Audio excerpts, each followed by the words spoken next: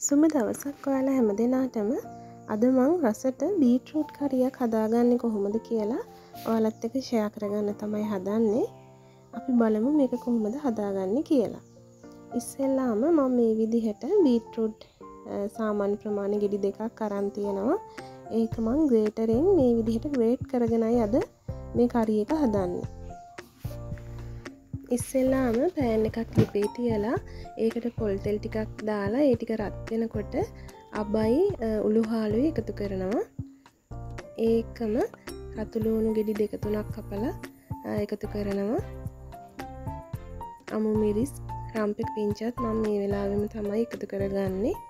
ඊට පස්ස සුදුලූුණු බික්තුන හතරකුත් මං එකතු කරගන්නවා. ඒටික හොඳින් රත්වේගෙන එනකොට මං කුරුඳු පොත්තකුත් එකතු කරා. අපි අර කපාගත්තු ග්‍රේට් කරගත්තු බීටරූට් ටික එකතු කරනවා. ඔයාලා හැමදාම බීටරූට් කපල ගන්න කෙනෙක් නම් මේ විදිහට ග්‍රේට් කරලා හදලා බලන්න. හරිම රස්සයි එකම විදිහට බීටරූට් ටික කැපෙන තියෙන නිසා දැක්කහම කන්නත් ආසයි.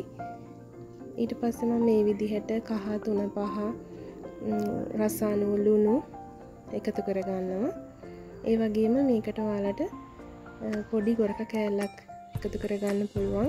නැත්තං තක්කලි ගෙඩි භාගයක් විතර එකතු කරගන්නත් පුළුවන්. ඒකනුත් වඩාත් රසවත් වෙනවා මේ කරි එක. මේ විදිහට තෙලෙන් තැම්බෙන්න තියලා පියනකින් වහලා තියෙනවා. ඔයාලට කැමතිනම් වතුර චුට්ටක් දාලා මේක තම්බ ගන්නත් පුළුවන්. නැත්තං හොම තෙලෙම්ම තැම්බෙන්න දීලා මේ විදිහට මිටිකිරි කෝප තුන් කාලක් ඉතරමං මේ වෙලාව එකතු කරගත්තා. දැන් තියෙන අපිට මේක පොල්කිර ටික හොඳින් ඉදෙනකං කුක් කරගන්න. මේ තියෙන්නේ අපි හදාගත්තු රසමරස්ස බීටරූට් කරි එක. ඔයාලත් මේ විදිහට හදල බලන්න. කරෝල බැදුමක් එක්ක පොල් සම්බෝලයි බීටරූට් කරි එකයි පුද්දුම රසක් තියෙන්නේ. ඉතිං ඔයාලත් ඒ විදිහට හදල බලන්න. මේ වගේ රසවත් වීඩියෝ නරඹන්න අපේ චැනල් එක සබස්ක්‍රයිබ් කරන්න.